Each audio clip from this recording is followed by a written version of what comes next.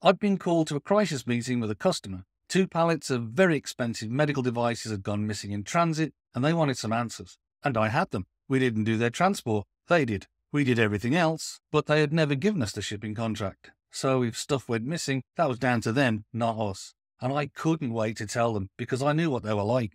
This was going to be a moment to remember. When I arrived, I met our operations guy, Mike. He was ex Navy, complete with white beard and the stature of a small mountain range. Just before we went in to see the VP of manufacturing, Mike said, Listen, if you want to grow this account, leave this to me.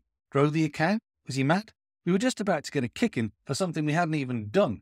We were hardly in the running for Supplier of the Year, as far as I could see. The customer spent 20 minutes telling us how much the pallet cost, how many of their customers had been let down, how terrible the whole situation was for him, for us, for everyone. And Mike sat there and said nothing, and he stopped me every time I went to speak.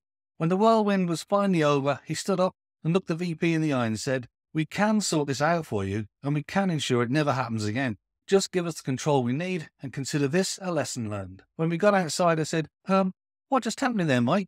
We don't even run their transport, and we have to learn some sort of lesson. Mike shook his head. He said that guy knows exactly who runs his transport, and he doesn't need someone who owns trucks working for him. He needs someone who owns problems and sorts them out.